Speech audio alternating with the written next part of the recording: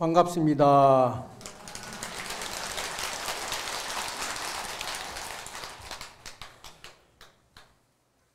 어제 통도사 영축 총님 대함 살림 입제를 하셨고 오늘부터 대방광불 화엄경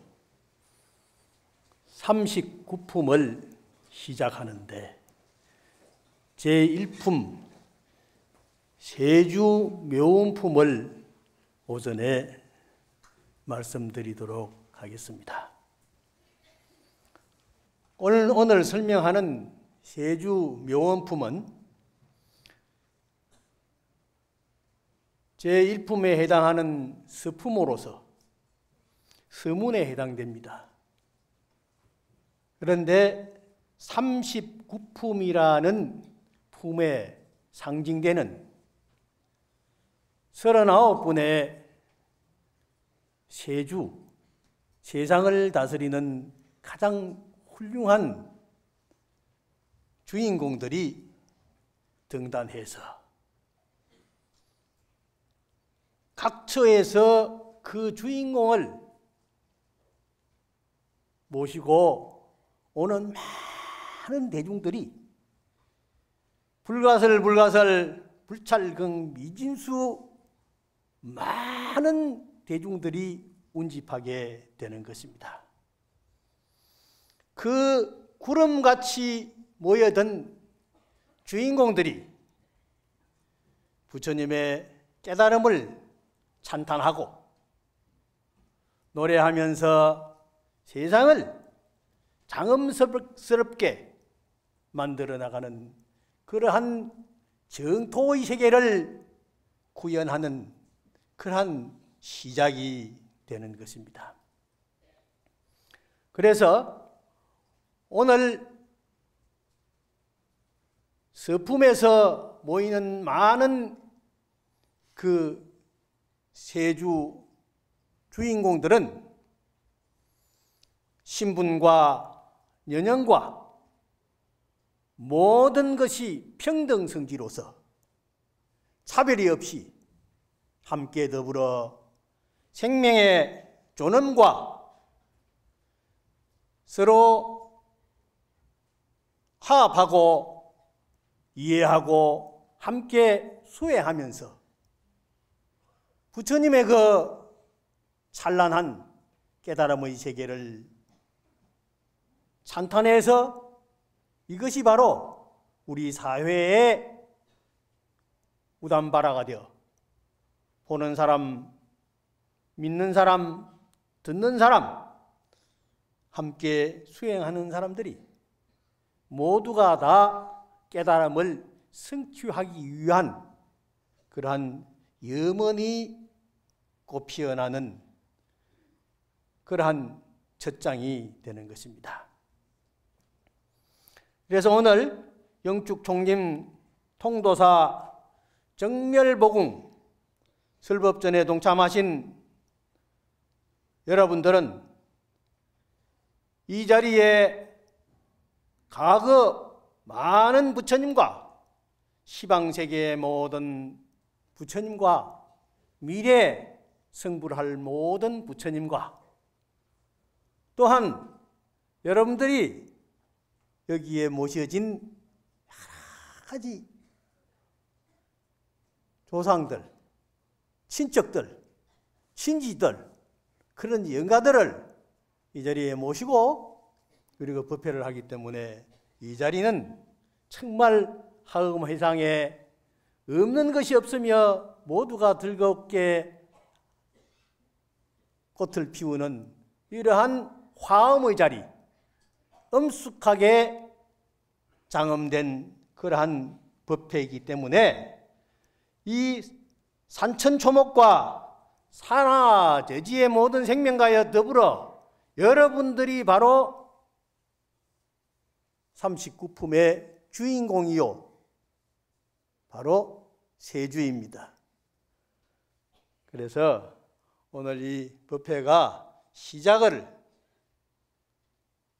함으로써 오 내일 모레 계속해서 큰 신임들이 오셔가지고 법회를 잘 장엄해 주리라고 생각합니다. 다 같이 합장하시고 나무 서가모니을 하면 세 번 따라해 주세요. 나무 서가모니불 나무 서가모니불 나무 시아 본사 서가모니불. 불신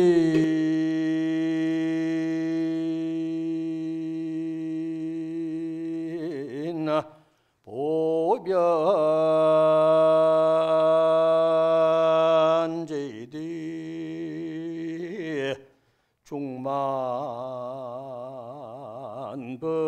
중만법계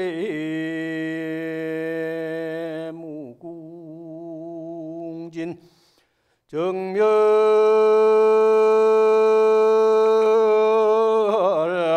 무성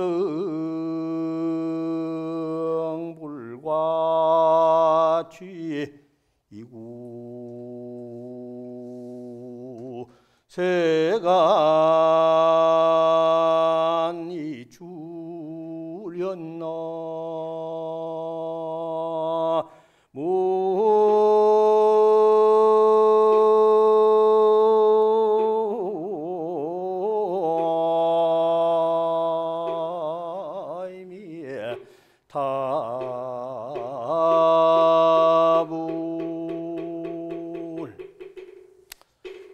이 세주 묘원품은 여섯 권으로 되어 있기 때문에 분량이 아주 많습니다.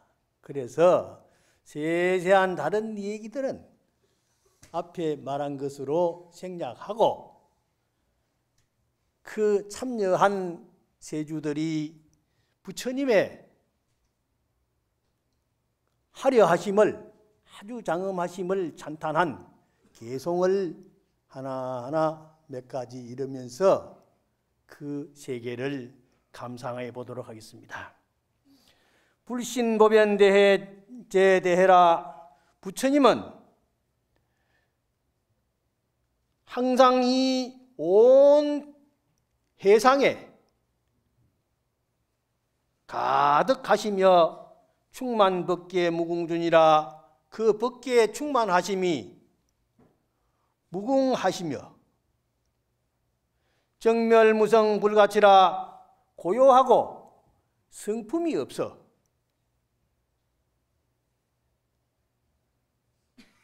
잡을 것이 없더라. 걸릴 것이 없더라. 이 말입니다. 그렇지만은 이구세간 이출현이라 세상 중생을 제도하기 위해서 이 세상에 나타나셨네 하고 부처님의 탄생을 축하하는 개송입니다. 부처님은 본래 불구부정이요 부정불감이라 볼래야 볼 수도 없고 잡을래야 잡을 수 없고 알 수 없는 그런 경계라고 하지만은 그 경계는 바로 다른 경계가 아니라 흑원과 같고 맑은 물감 같고 바람과 같고.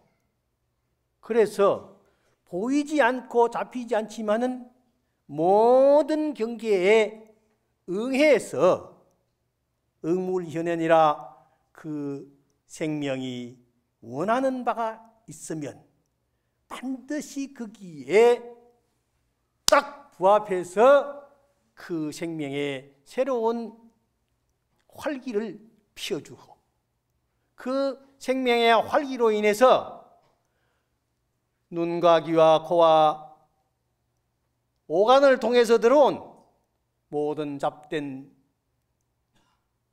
오염을 깨끗이 씻어주고 본래 오일이 마음에 있는 밝은 반야의 지혜를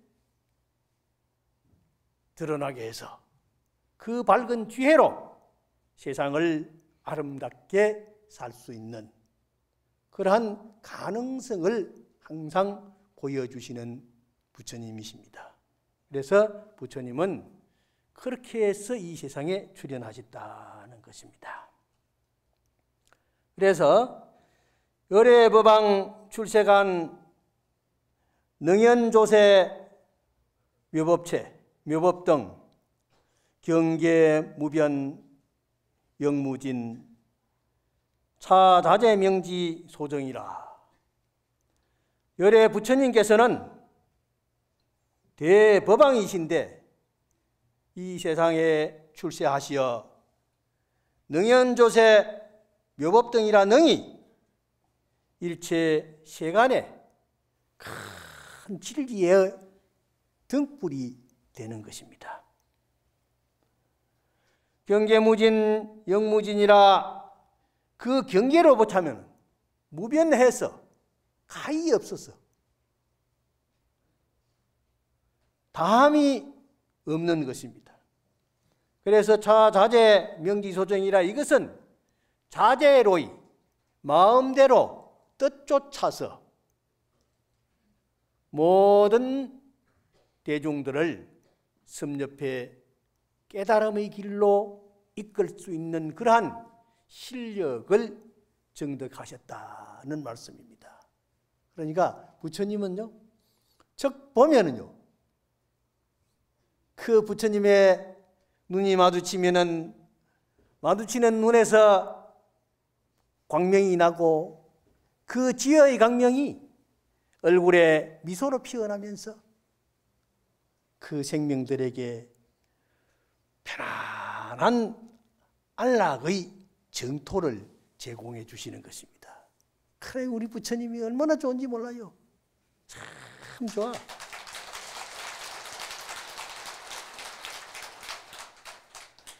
불부사의 이 분별이라 부처님께서는 부사의한 생각으로 헤아릴 수 없는 지혜를 가지기 때문에 일체 분별심을 떠났습니다. 차별, 분별심을 떠났기 때문에 차별이 없습니다.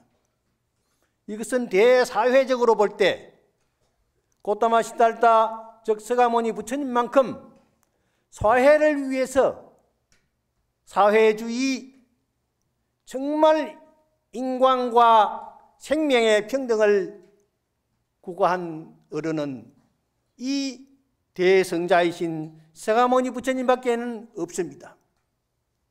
그래서 제가 학교에 있으면서 사회학과 교수들을 보고 사회학을 하는 사람은 반드시 부처님 공부를 하세요. 부처님 공부를 하면은 사회 평등주의, 사회 자유주의, 사회에 안락할 수 있는 모든 것을 여러분들이 실현할 수 있는 학문을 취득할 수 있습니다. 서가모니 부처님께서 출가하시기 전에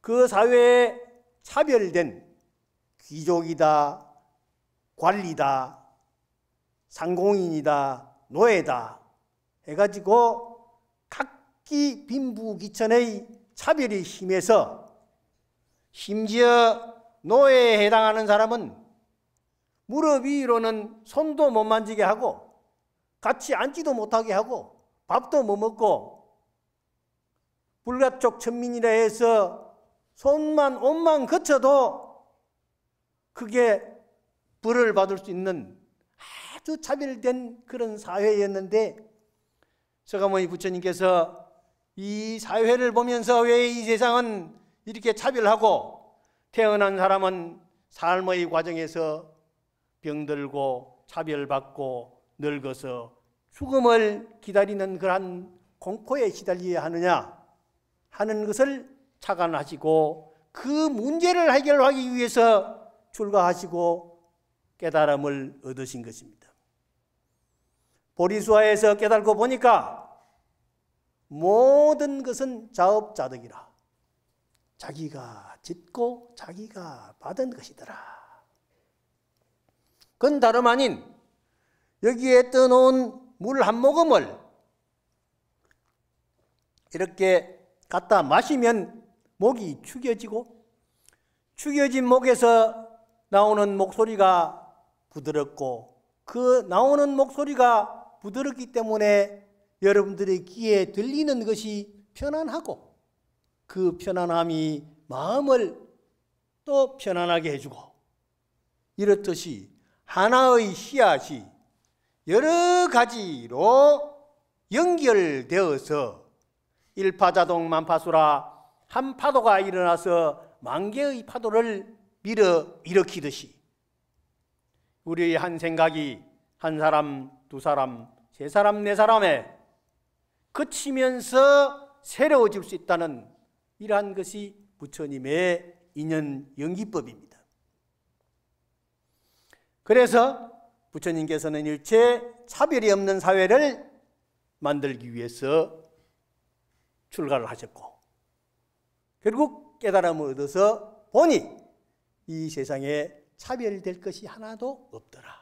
다만 스스로 깨닫게 해서 그 업을 스스로 닦아 자등명 법등명이라 스스로의 진리의 불을 마음에 밝히고 스스로 깨달음을 얻어서 자기를 보살피고 남을 일깨우는 그러한 사회가 됨으로써 이 사회는 밝고 아름다운 정토 사회가 되겠다 하는 생각을 했던 것입니다. 그래서 요상시방 무소유라 모든 상을 요달해서 요달했다는 것은 다 걸릴 것 없다는 것을 딱 알아차려서 시방세계 무소유라 시방세계 소유할 것이 없다 하는 것은 걸릴 것이 없다는 것입니다. 걸리면은 스트레스 받습니다. 들어서 스트레스 받고 보아서 스트레스 받고 냄새도 거역한 냄새가 나오면은 스트레스 받고 맛도 쓴맛도 있고 단맛도 있고 썩은 맛, 떨는 맛도 있고 그래서 집 입에 안 맞으면은 성질 부리고 그 성질이 바로 화가 되어 가지고 모든 것을 불편하게 만든다는 것입니다. 그래서 모든 것을 소유함으로써 생기는 병이다. 그 소유는 바로 충돌을 일으킬 수 있는 원인이 되는 것이다.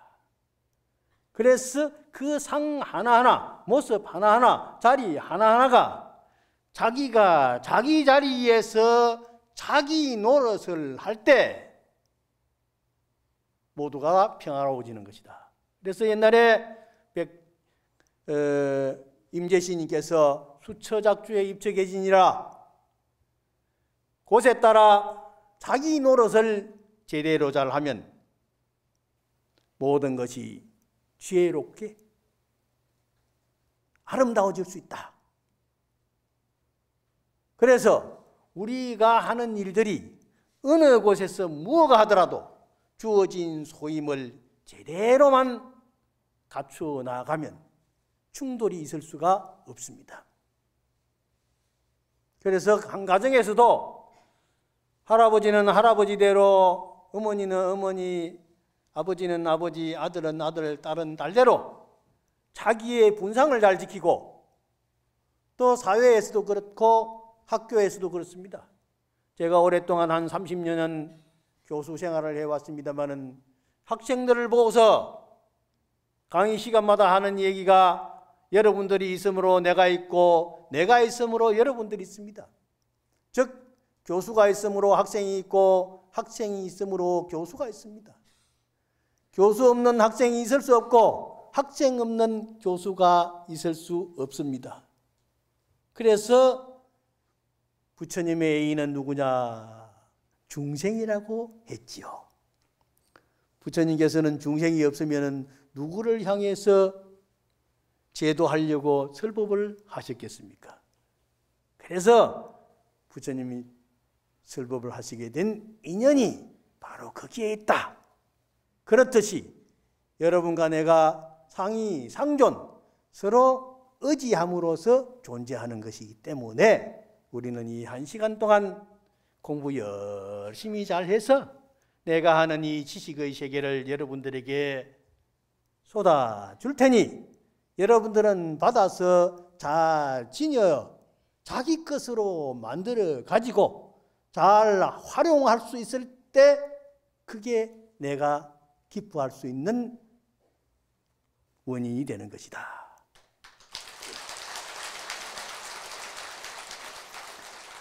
화엄법에 오신 여러분들이 법사 신님들이 하시는 전하는 그 부처님의 말씀을 잘 전해 듣고 자기 것으로 만들어 수행할 때 행복의 세계로 나아간다는 것입니다. 그래서 위세 관계 청정도라 부처님께서는 세상을 위해서 널리 청정한 도를 여셨다.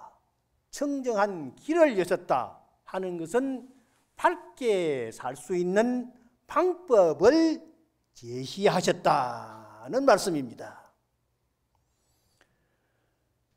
그래서 여시 정한 능관견이라 이와 같이 청정한 안목으로 능히 세상을 두루두루 살피시었다는 말씀입니다. 그러니까 부처님께서는요 중생을 이렇게 살펴보면요 척 알아쳐요. 그래서 옛날에 극락암에 경봉 노시님께서 법문을 하시면서 악! 하고 소리를 질러놓고 이 소리가 네 소리냐 내 소리냐 참 물으시면서 목격이 도전이라 한 소리가 날 때 눈이 착 마주치게 되는데 눈이 마주칠 때 도인이라 능지 도인이라 그때 서로 착 깨달을 수 있다면 그 맛을 알아차리고 서로 기뻐할 수 있고 기뻐할 수 있다는 것은 바로 번뇌와 망상이 그 순간에는 싹 해결되어 버리는 순간이라. 그래서 선사들의 말씀이 아주 힘이 있고 재미가 있어요.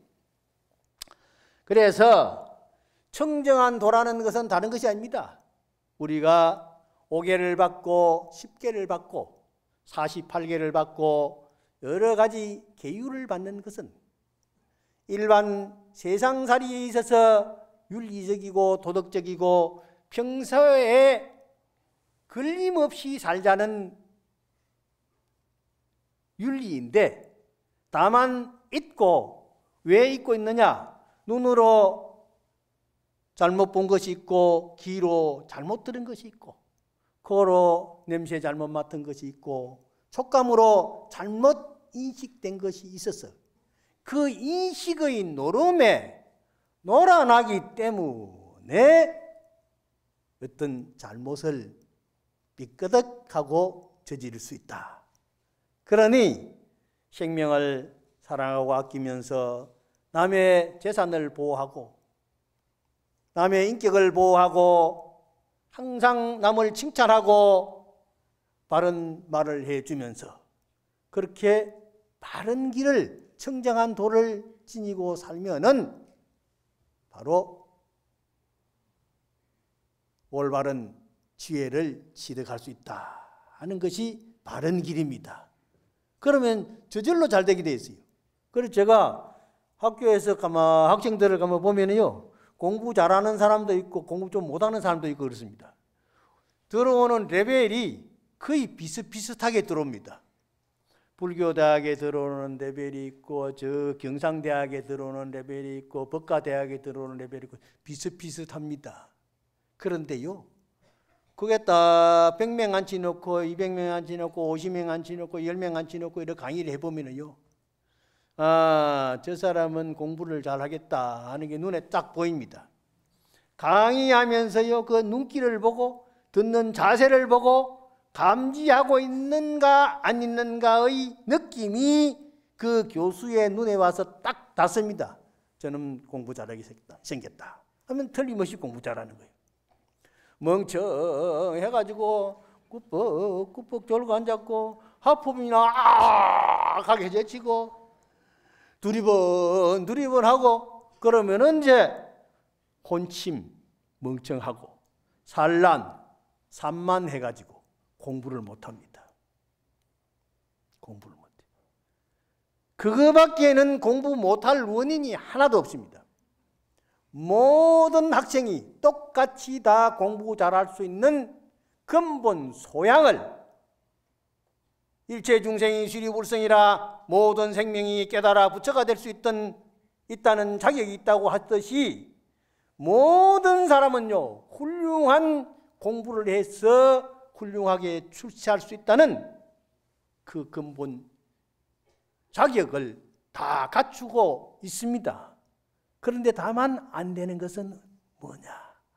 오염된 업식 때문에 멍청한 거야. 거기 끌려가. 자꾸 끌려가요. 끌려가가지고 두리번거리거나 안 그러면 멍청하게 졸거나 그러면 막 공부를 못하고 그러면 넘어가 버리거든요. 이번 수능 시험이 어려웠다고 그러지만은 만점짜리가 나왔죠. 아무리 어려웠다고 야단하고 항의하지만은 지한테 어려운 것이지 푸는 사람한테는 어려운 게 있습니까? 없지요. 만점 맞는 사람도 있는데 그 사람들한테 네 문제 어렵더냐? 아니요. 쉽던데요. 그러면 졸졸졸졸졸 풀고 나가서 연필 딱 놓고 나갔는데 100점 만점 딱 됐잖아요. 그것은 그만큼 산만하지 않게 멍청하지 않게 수행 공부를 잘 했다는 의미가 되는 것입니다. 그러니까 출세하기 위해서는 산만하지 않고 멍청하지 않아야 돼요. 그러자면 뭐가 제일 가장 기본이 되는 것이냐? 기도를 잘해야 돼. 참선을 잘해야 돼. 연부를 잘해야 돼요. 부처님 법이요. 최고 좋은 법입니다. 최고 좋은 법이야. 제가 선악과 교수를 하면서 맨날 학생들에게 참선하면 깨달을 수 있다는 학문적인 말만 해왔다. 그러다가 내가 남보고 참선하라 하는 것만 문제가 아니라 내가 가서 해야 된다. 그래서 제가 정전하고 바로 선방으로 갔습니다. 선방으로 가가지고 이먹고 하고 앉았다. 얼마나 좋은지 몰라요. 참 그 세계가 아름다워요. 산을 보니 산과 함께 푸르르고 꽃을 보니 꽃과 함께 미소를 짓고 벌나비를 보니 벌나비와 함께 춤을 추고 흐르는 물을 보니 흐르는 물과 함께 내 마음을 청결히 하고 다람쥐가 노는 걸 보니까 다람쥐 노름이 얼마나 편안한지 즐겁게 보이고 그 세계에서 과연 나는 무엇인가 하고 찾아보니 답답하지만은 그러나 계속해서 찾다가 보니 한 생각도 올라 시도 쓰고 그래가지고 내가 시집도 하나 내고 시인이 되고 했습니다.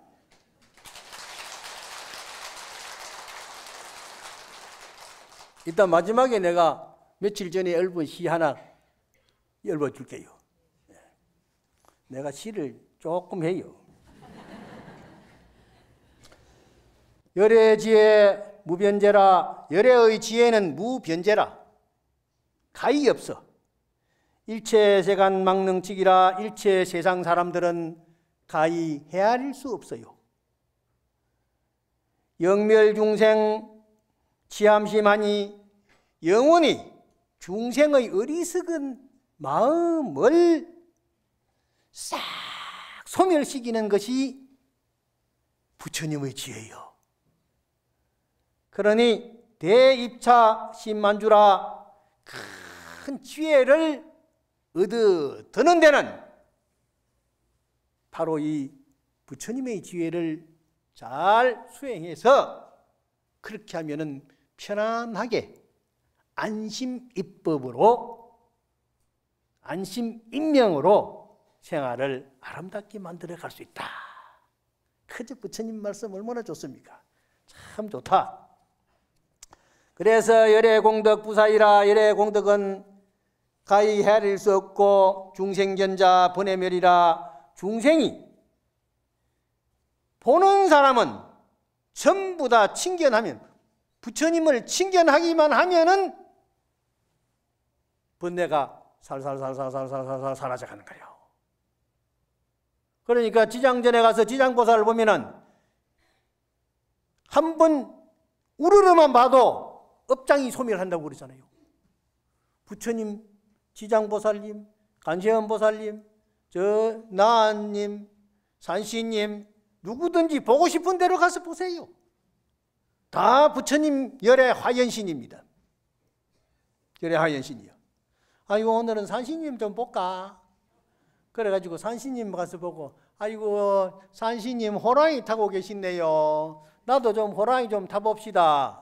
그러면은 그럼 너도 한번 타봐라. 그러면 그가 기도하면 호랑이 탈 수 있는 거요. 모든 것은요 다 할 수 있습니다. 우리가 식당에 한 군데 가가지고 맛없다고 두끼 새끼 먹으면 맛없다고 그러죠. 다른 데 가서 또 먹으면 돼요. 커피집에 가서는 뭐 아메리카노 만자십니까? 라떼도 있고 라떼도 여러 가지가 있습니다. 고구마 라떼도 있고 카페 라떼도 있고 캄푸치노도 있고 여러 가지가 있어요. 이것저것 입에 맞는 대로 골라 먹으면서 내가 마음이 행복하면 그게 행복인 것입니다. 그러니까 관세음보살 할 때는 관세음보살 관세음보살 관세음보살 관세음보살 곡도도 맞고 좋잖아요. 지장보살 할 때도 있고 사랑 대신을 찾을 때도 있고 하음성중을 찾을 때도 있고 다 그렇게 하면은 성자의 명호를 입으로 부르고 마음에 담음으로써 마음에 있는 읍장 읍식이 점점 점점 쥐어지게 되는 것입니다. 안 지워지는 것 같으면 지워집니다. 틀림없이 지워집니다. 제가 참선도 해보고 기도도 해보고 다 해봤습니다. 요새는 건강경을 읽는데요. 건강경 내가 10만 독 발언을 하고 열심히 열심히 하고 있는데 한 점 한 점 10만 점을 찍어야 되는데 오늘 아침에도 석점 넉 점을 찍고 왔는데요. 법문할 기라고 책이라도 좀 보고 가야 되겠다 해서 보고 왔는데 무슨 얘기를 해줄까 몰랐는데 그냥 이리 올라왔습니다. 그래서 내가 건강경을 지금 4만 6천 독을 했습니다. 4만 6천.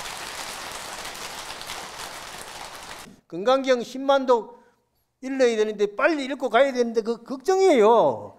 염라대왕이 데리러 올까 싶어가지고. 안 그래도 마음은 준비를 하고 있어요. 오면은 내가 아직 건강경 덜 했으니까 가서 기다리라고 해라.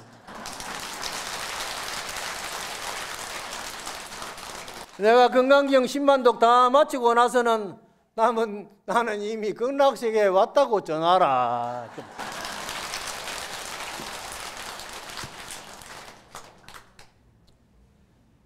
그래서 부처님의 공덕이 무량무변해서 중생이 보는 사람은 다 마음의 번뇌가 없어지니 보사세간 해갈락이라 일체 세간 사람들로 하여금 안락을 얻게 한다.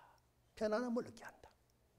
그래서 부동자재 천능견이라 능히 움직임이 없이 변함이 없이 자제로이 부처님을 보고 중생을 살필 줄 아는 그런 지혜를 갖게 되노라. 참 멋지잖아요. 참 멋져.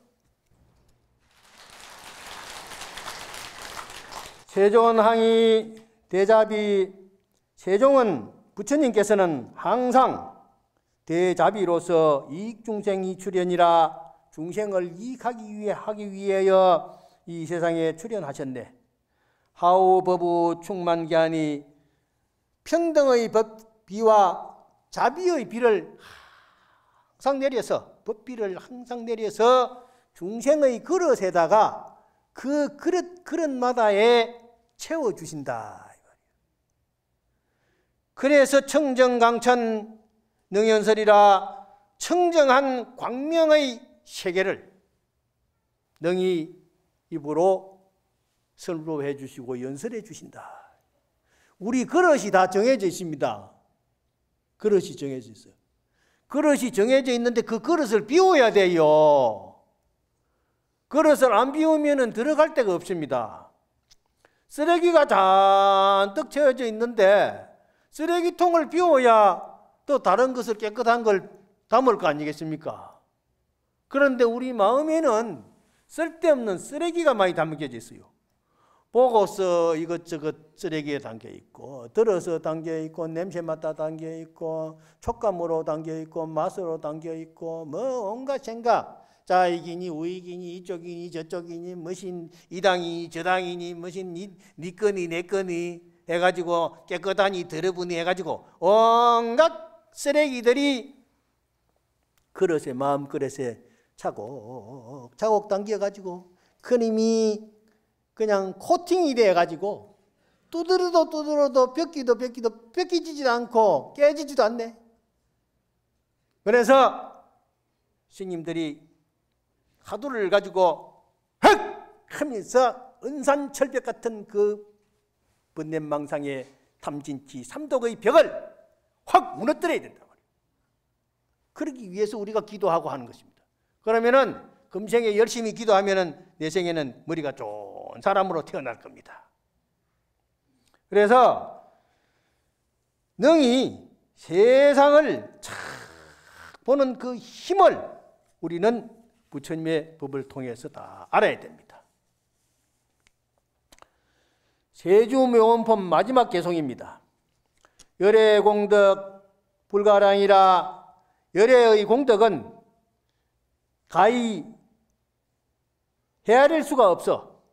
충만 법계 무변제라 법계 충만해서 끝이 없네.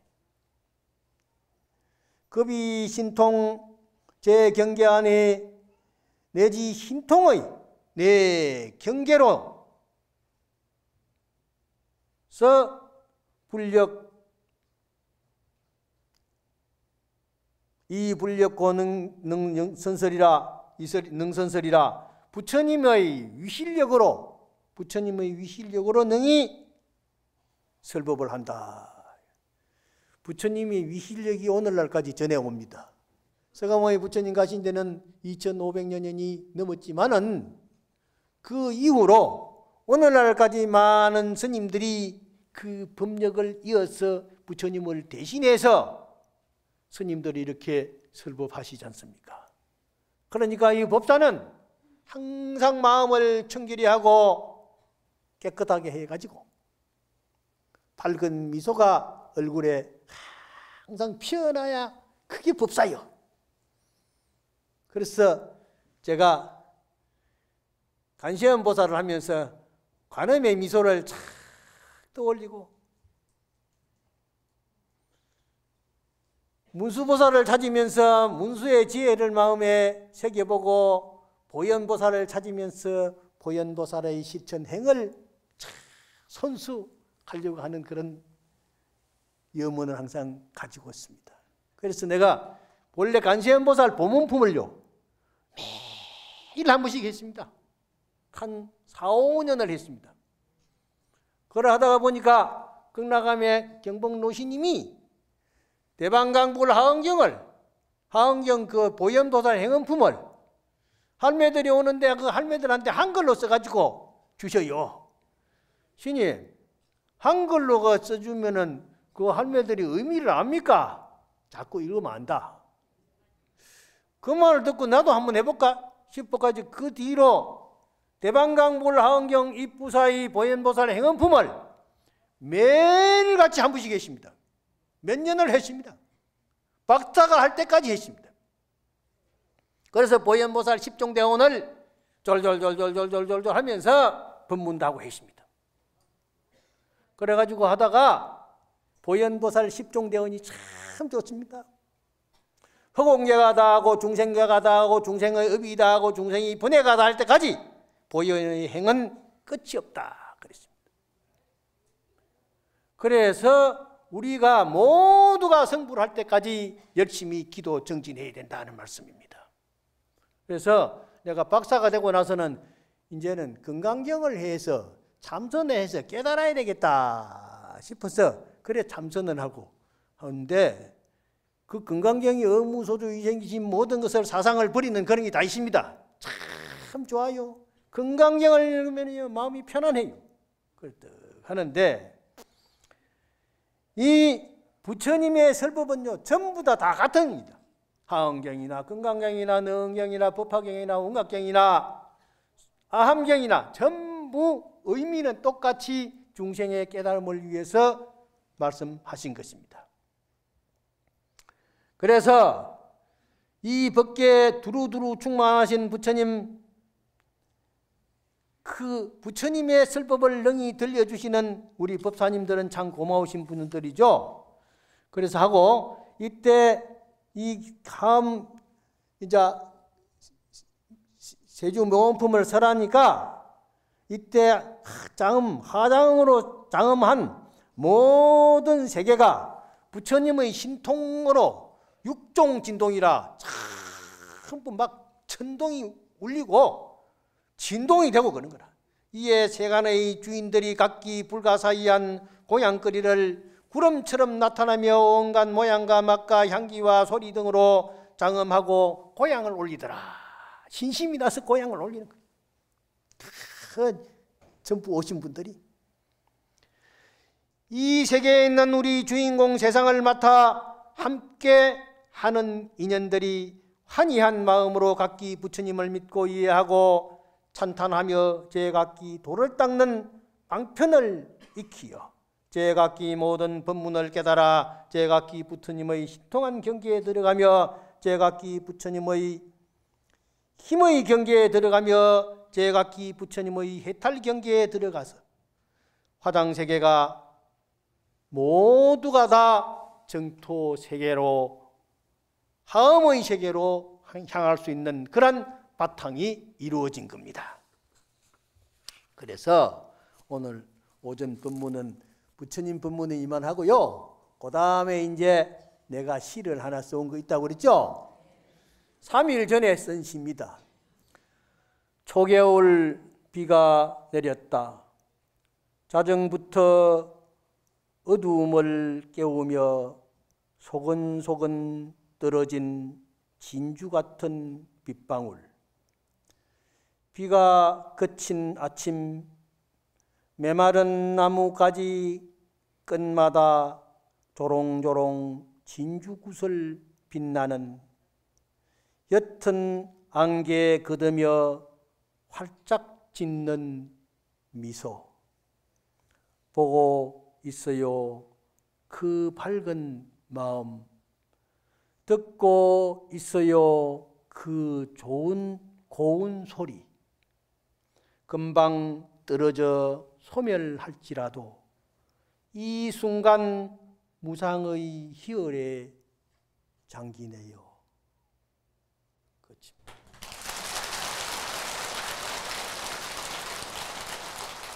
오늘 오전 본문이라면 마치겠습니다.